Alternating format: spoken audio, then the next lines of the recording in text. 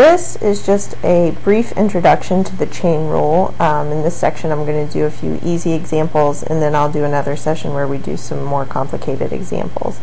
So just as a reminder, you want to use the chain rule anytime you have something in parentheses raised to a power or else something in a radical because um, remember we can write a radical as a rational power and you do it whenever the derivative of that stuff, whatever's on the inside, is something other than just 1. So over here we have examples of um, functions that do require the chain rule. Uh, f of x equals 2x squared minus 3x plus 4 to the fifth square root of 3x minus 7, or 1 over 5x plus 6 to the fourth. You can see the derivative of this inside is 4x minus 3, so that's not just 1. The derivative of this inside is 3, so that's not 1. And the derivative of this inside is 5. So um, you definitely would need chain rule on those.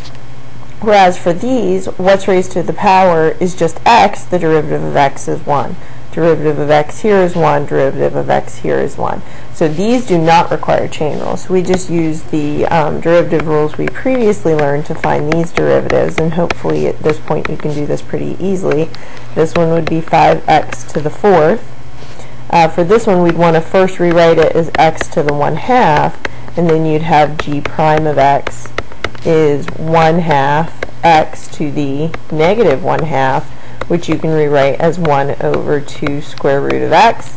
And then for our last one, we'd want to rewrite that as x to the negative fourth, and then h prime would be negative 4x to the negative fifth, which you would rewrite as negative 4 over x to the fifth. So those would be the derivatives of those three functions that do not require chain rule. But let's now do the derivatives of these three that do require chain rule. So as a reminder, the chain rule says if you want to find the derivative of some inside stuff, we'll call it raised to a power, all you do is you bring the power in front, rewrite the inside stuff, decrease the power by 1, and then this is the really important step that a lot of people forget. You then multiply by the derivative of this inside stuff. So make sure you do that at the end of the problem.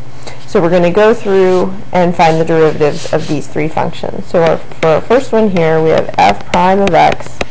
We bring our power in front, rewrite the inside. Remember, you don't change this at all, so you rewrite it exactly. Decrease the power by 1, so 5 minus 1 is 4. Then you multiply by the derivative of the inside stuff. So the derivative of this inside is 4x minus 3.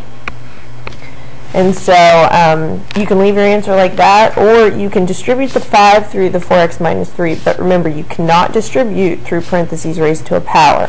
So you can distribute the 5 through these because these brackets aren't raised to an outside power. But do not distribute the 5 through that.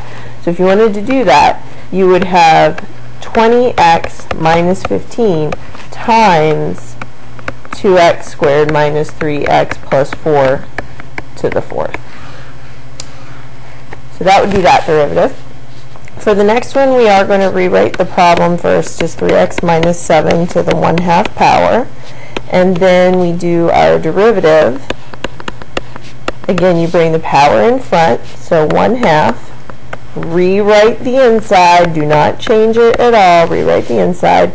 Decrease the power by 1, so a half minus 1 takes us to negative 1 half and then multiply by the derivative of the inside. And the derivative of 3x minus 7 is just 3. So then we'd rewrite that as 3 over this 2 from the 1 half is going to stay in the bottom, and then this 3x minus 7 to the negative 1 half moves to the bottom as the square root of 3x minus 7. So that would be that one. Now let's look at the last one here we have h of x equals 1 over 5x plus 6 quantity to the fourth. Again, you'd want to rewrite this as 5x plus 6 to the negative fourth power. And then its derivative, bring the power in front, rewrite the inside without changing it, decrease the power by 1. Be really careful about this. Negative 4 minus 1 is negative 5 and then times the derivative of the inside derivative of 5x plus 6 is just 5.